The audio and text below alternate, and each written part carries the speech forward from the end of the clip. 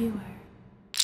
Sylvester Stallone's half brother has been brutally attacked. According to TMZ, 19 year old Dante Stallone was attacked by two men, suffering a broken jaw, split palate, as well as broken teeth. Sly Stallone's half brother was reportedly on the Florida State University campus when the attack took place. TMZ reporting Stallone has spoken out, calling the attack on the straight A student tragic and terribly sad. It's unclear why the attack happened.